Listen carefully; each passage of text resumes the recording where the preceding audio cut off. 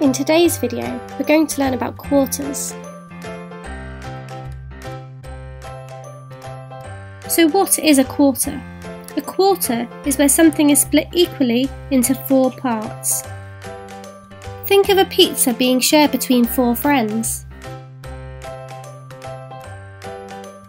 Let's take a look at a Lego brick. This is one whole piece. We already know that if we split it in half, we split it into two parts.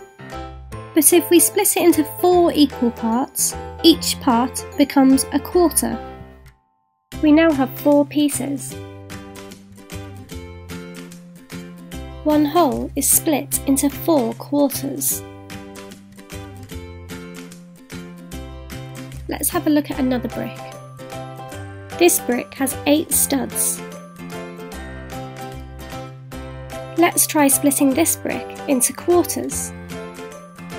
We now have four pieces. There are two studs in each quarter.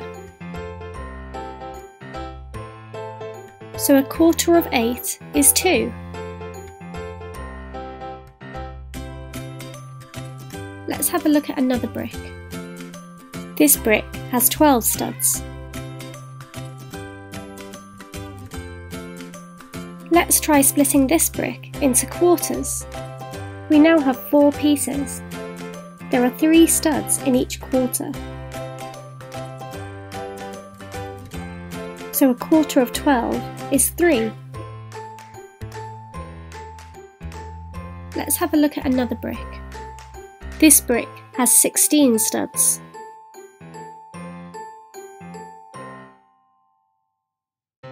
Let's try splitting this brick into quarters. We now have four pieces. There are four studs in each quarter.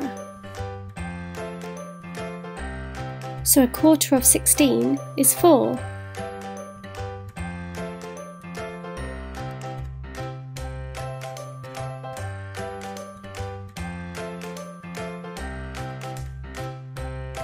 Two of these shapes have been split into quarters, one of them has not. Can you spot the odd one out? Pause the video to give you time to work out the answer. Press play when you're done. Did you spot it? The blue shape has not been split into equal quarters, as two parts have two studs and two parts have one stud. The pink brick has been split into equal quarters, as there are four studs on each part. The yellow brick has been split into equal quarters, as there are two studs on each part. So the blue shape was the odd one out.